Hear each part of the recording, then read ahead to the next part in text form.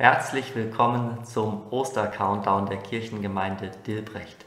40 Tage, 40 Menschen, 40 Verheißungen.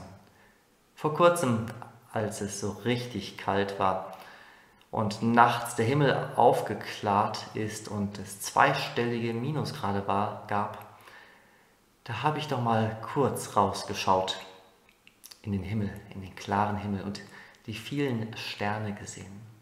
Faszinierend. Lange habe ich es nicht ausgehalten, dann war ich wieder drin. Wie viel Zeit Abraham wohl verbracht hat, den Himmel und die Sterne zu zählen? Im Mittleren Osten damals, ohne Lichtverschmutzung, gab es bestimmt tausend Sterne zu sehen. Wer weiß.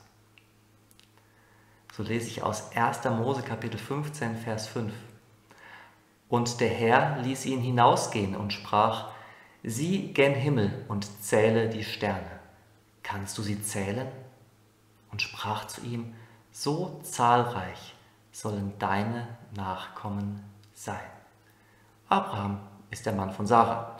Für Juden, Christen und Muslime der Stammvater, der Ursprung des Glaubens.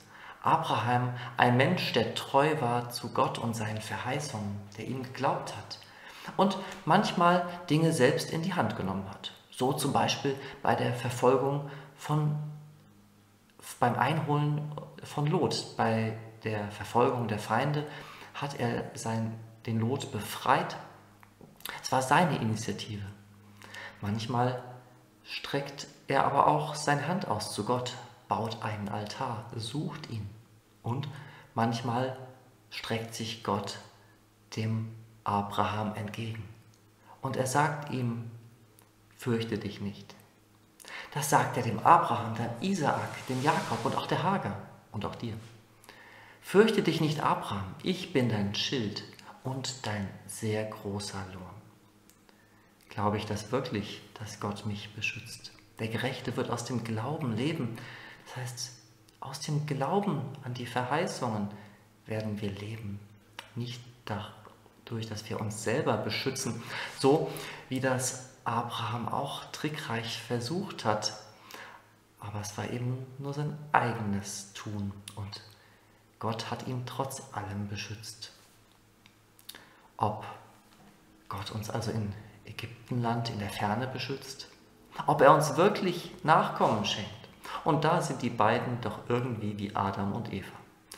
Gott hat einen Plan und dann gibt es einen Gegenplan. Die Frau stellt dem Mann diesen Gegenplan vor und der Mann sagt einfach ja. So war es bei den beiden. Und das finde ich faszinierend. In der Bibel werden die Vorbilder des Glaubens nicht ohne ihre Schattenseiten dargestellt.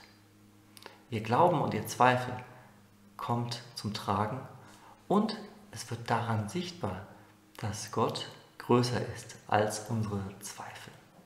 Selbst wenn wir seinen Zusagen untreu werden, er ist und bleibt treu.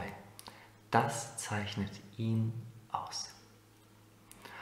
Und so ist die Herausforderung für heute. Lies doch bitte aus dem ersten Buch Mose die Kapitel 12, Verse 10 bis 20 und Kapitel 15, die Verse 1 bis 6. Sprich mit Jesus Christus, deinem Herrn, wie weit und wie groß seine Gnade ist. Sprich mit Jesus über Abraham und über dein Leben. Und für die Mitglieder der Dilbrechter Kirchengemeinde und alle die, die in der Messenger-Gruppe der Kirchengemeinde sind, ja, so viele Namen sind es und so wenige konnte ich bisher persönlich kennenlernen. Daher die Bitte, nennt mir zu eurem Namen, Vornamen, wer gerne mit mir per Du sein möchte, oder Nachname, wer das lieber per Sie hat, nennt mir bitte ein Adjektiv, das mit demselben Buchstaben anfängt wie dein Vor- bzw. Nachname. Es muss ein positives Adjektiv sein.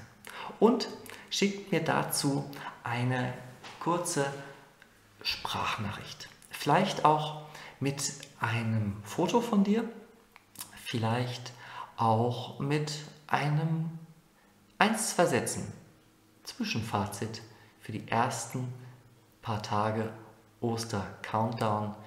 Die Gemeinde Dilbrecht trifft sich am, in, in diesen 40 Tagen sonntags um 19 Uhr für maximal eine Stunde in Zoom virtuell per Computer. Wer daran teilnehmen möchte, die Einladung kommt über die Messenger Group der Gemeinde. Einen gesegneten Tag.